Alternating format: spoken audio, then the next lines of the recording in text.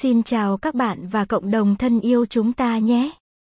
Hôm nay, mình lại xin chia sẻ cho các bạn và cộng đồng thân yêu chúng ta cùng biết về 10 mỹ nhân luôn được khao khát nhất Ấn Độ nhé các bạn. Nhật báo nổi tiếng The Times vừa công bố top 50 mỹ nhân được khao khát nhất Ấn Độ. Danh sách này có những cái tên quen thuộc như Rhea Chakraborty, Adlai Castellino, Disha Patani, Deepika. Danh sách 50 phụ nữ được khao khát nhất năm 2020 của tờ The Times vừa được công bố. Đứng đầu cuộc bình chọn này là nữ diễn viên 29 tuổi Rhea Chakraborty. Rhea khởi nghiệp là VJ.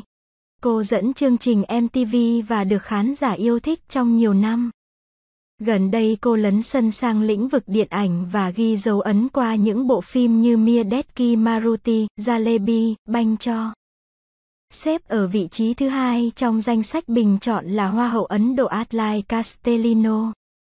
Adlai Castellino 23 tuổi, cao 1,68 m là Á hậu 3 cuộc thi Hoa hậu Hoàn Vũ vừa diễn ra tại Mỹ. Đây là vị trí cao nhất của Ấn Độ tại cuộc thi Hoa hậu Hoàn Vũ kể từ khi Lara Dutta giành được danh hiệu này vào năm 2000. Castellino tốt nghiệp đại học chuyên ngành quản trị kinh doanh.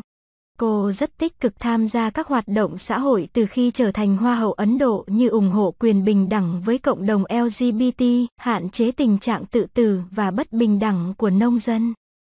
Chăm sóc trẻ em bị nhiễm HIV ở Ấn Độ, gây quỹ cho tầng lớp có thu nhập thấp và thiệt thòi của Ấn Độ. Xếp ở vị trí thứ ba là mỹ nhân gợi cảm Disha Patani, một trong những ngôi sao hot nhất Bollywood hiện nay. Dishapatani sở hữu thân hình rực lửa và vẻ ngoài lôi cuốn. Cô được biết tới với những bộ phim ăn khách như Bagi 2 2018, Barat 2019 và Malang 2020. Disha Patani tiết lộ cô đóng phim có chọn lựa, chỉ lựa chọn dự án uy tín vì rất sợ thất bại. Người đẹp nói, cô không có bệ đỡ khi tham gia làng giải trí nên phải nỗ lực rất nhiều để có vị trí như hiện tại. Kiara Advani đứng thứ tư trong danh sách những mỹ nhân được khao khát nhất Ấn Độ. Nữ diễn viên 29 tuổi bắt đầu đóng phim cách đây 7 năm. Cô được giới phê bình đánh giá cao cho màn trình diễn trong bộ phim Last Story 2018 chiếu trên kênh Netflix. Đây được đánh dấu là một bước ngoặt trong sự nghiệp của cô. Người đẹp cũng đạt được thành công hơn nữa với các vai chính trong các bộ phim như Telugu Bharat and Nenu 2018, Kabir Singh 2019 và bộ phim hài tiếng Hindi Good News. Deepika Padukone đứng ở vị trí thứ 5 trong cuộc bình chọn này. Ngôi sao từng đóng phim Hollywood cùng Vin Diesel là một trong những nữ diễn viên được trả cát xê cao nhất Ấn Độ. Padukone là gương mặt quảng cáo của nhiều thương hiệu lớn như Tissot, Maybelline, Coca-Cola và L'Oréal Paris.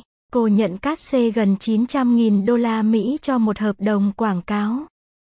Người đẹp 35 tuổi được tạp chí Eastern Eye của Anh bình chọn là người phụ nữ châu Á gợi cảm nhất vào năm 2016 và 2018. Katrina Kai xếp thứ 6 trong cuộc bình chọn của The Time. Nữ diễn viên 38 tuổi cũng là một trong những nữ diễn viên được trả cát xê cao nhất của Ấn Độ. Sinh ra ở Hồng Kông, Kai đã sống tại nhiều quốc gia trước khi tới Ấn Độ sống và làm việc. Katrina Kai bắt đầu được biết tới khi vai diễn trong bộ phim kinh dị New York 2009 đã mang về cho cô một đề cử tại giải thưởng phim phe.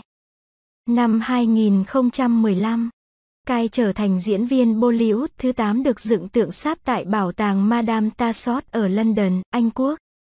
Năm 2013, cai lọt top những nghệ sĩ giải trí nổi tiếng nhất Ấn Độ do Forbes bình chọn với thu nhập gần 9 triệu đô la Mỹ.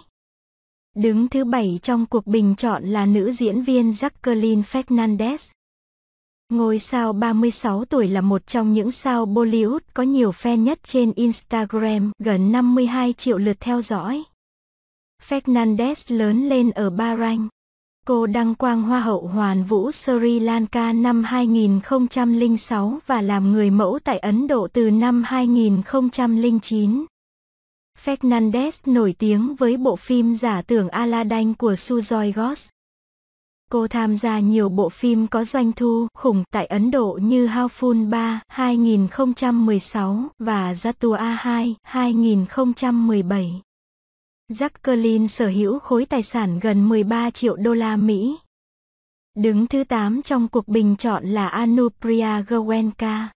Người mẫu kiêm diễn viên 34 tuổi được biết tới qua các bộ phim như Disum 2016, Tiger Zinda 2 2017, Ua 2019.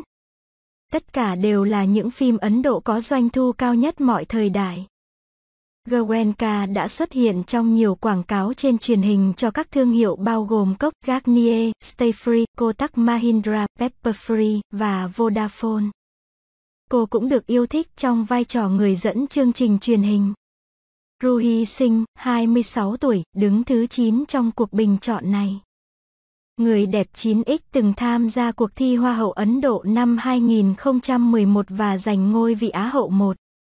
Cùng năm đó, cô đại diện cho Ấn Độ tại cuộc thi Miss Model of the World tổ chức tại Trung Quốc và lọt vào top 36 chung cuộc.